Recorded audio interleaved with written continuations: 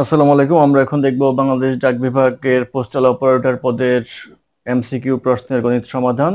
অঙ্ক শুরু হবে চুয়ান্ন নম্বর অঙ্ক দিয়ে। আমরা প্রতি শুক্রবারই চেষ্টা করি পরীক্ষার পর পর গণিত সমাধান আপডেট দেওয়ার জন্য। আপনারা আমাদের চ্যানেলটি অবশ্যই সাবস্ক্রাইব করবেন লাইক কমেন্ট এবং শেয়ার করবেন। অঙ্ক শুরু হবে চুয়ান্ন নম্বর অঙ্ক দিয়ে। চুয়ান্ন নম্বর অঙ্ক ছিল, একটি মুদ্রাকে দুইবার নিক্ষেপ করলে উভয় ক্ষেত্রে হেড পাওয়ার সম্ভাবনা কত?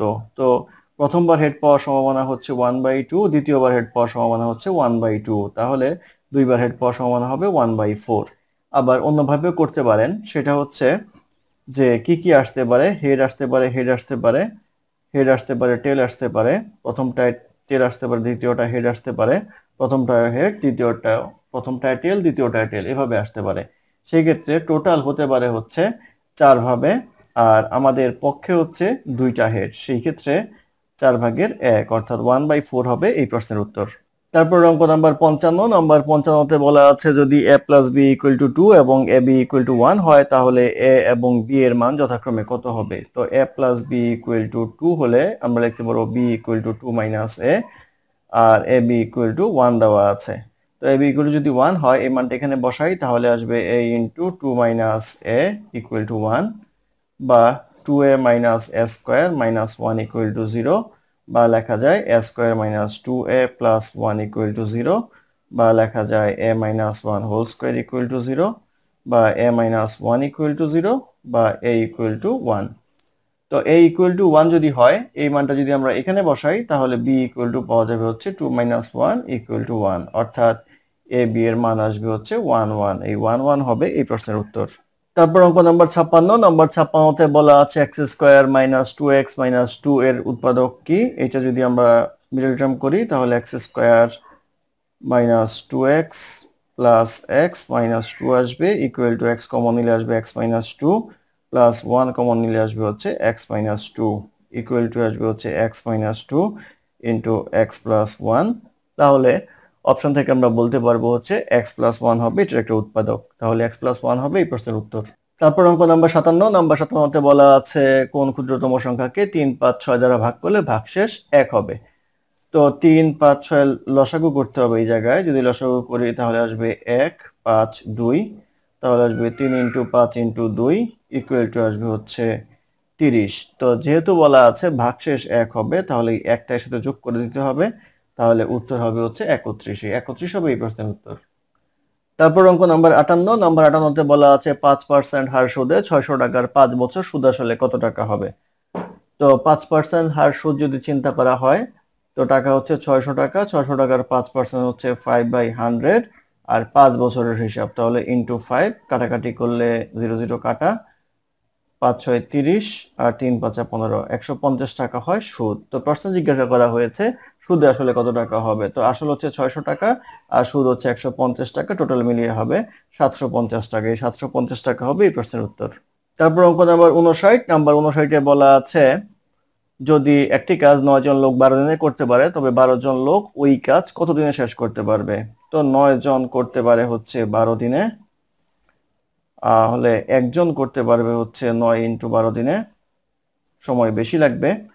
আর বারো জন করতে পারবে হচ্ছে নয় ইন্টু বারো বাই বারো ইকুয়াল টু আসবে হচ্ছে নয় দিনে, অর্থাৎ নয় দিন হবে এই প্রশ্নের উত্তর। তারপর অঙ্ক নাম্বার ষাট, নাম্বার ষাটে বলা আছে, একটি চৌবাচ্চার পাঁচ ভাগের তিন ভাগ পূর্ণ হতে সাত ঘণ্টা লাগে, চৌবাচ্চাটির বাকি অংশ পূর্ণ হতে আর কত সময় লাগবে? তো পাঁচ ভাগের তিন ভাগ পূর্ণ হয় সাত ঘন্টায়, বাকি থাকে হচ্ছে পাঁচ ভাগের দুই ভাগ। তো সাত ঘণ্টা যদি পাঁচ ভাগের তিন ভাগ পূর্ণ হয়, সম্পূর্ণ পূর্ণ হতে সময় লাগবে হচ্ছে তিন ভাগের পাঁচ আর দুই ভাগের পাঁচ পূর্ণ হতে সময় লাগবে। এই দুই বাই পাঁচ কাটাকাটি করলে আসবে হচ্ছে চোদ্দ বাই তিন। তো চোদ্দ বাই তিন ভাগ করলে আসে হচ্ছে চার সমস্ত তিন ভাগের দুই ঘণ্টা। তো এটাকে লেখা যায় হচ্ছে চার ঘণ্টা চল্লিশ মিনিট। অর্থাৎ চার ঘণ্টা চল্লিশ মিনিট হবে এই প্রশ্নের উত্তর। উত্তরটি অপশনে নেই। তারপর অঙ্ক নাম্বার একষট্টি, নাম্বার একষট্টিতে বলা আছে, একটি ঘুড়ি ভূমি থেকে পঞ্চান্ন মিটার উপরে উঠছে, তার সুতা ভূমির সাথে ষাট ডিগ্রি কোণ উৎপন্ন করে। সুতার দৈর্ঘ্য কত মিটার?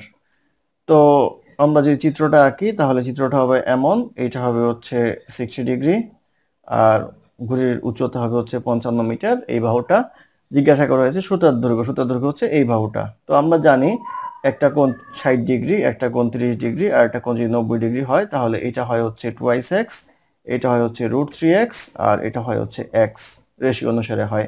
তাহলে এই রুট থ্রি এক্সের সমান হচ্ছে আমাদের ফিফটি ফাইভ আমাদের বের করতে হবে সুতার দৈর্ঘ্য। সুতার দৈর্ঘ্য হচ্ছে টু এক্স তাহলে এক্স ইকুয়াল টু আসবে fifty five by root three তাহলে টু এক্স ইকুয়াল টু আসবে হচ্ছে two into fifty five by root three এটা ক্যালকুলেশন করলে পাওয়া যায় হচ্ছে sixty three point five zero eight বা এটাকে লেখা যায় হচ্ছে one twenty seven by two অর্থাৎ একশো সাতাশ বাই দুই হবে এই প্রশ্নের উত্তর।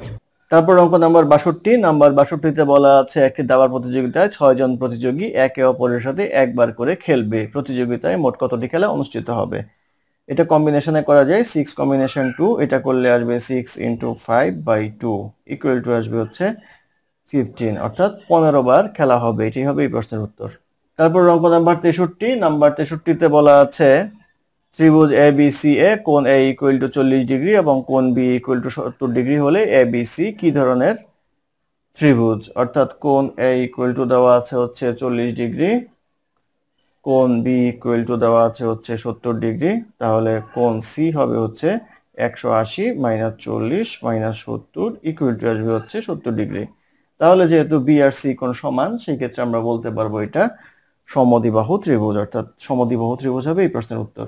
তারপর অঙ্ক নাম্বার চৌষট্টি, নাম্বার চৌষট্টিতে বলা আছে দুই দশমিক পাঁচ কোন সংখ্যার পয়েন্ট জিরো ফাইভ পার্সেন্ট তাহলে পয়েন্ট জিরো ফাইভ পার্সেন্টের সমান লেখা যায় হচ্ছে দুই দশমিক পাঁচ।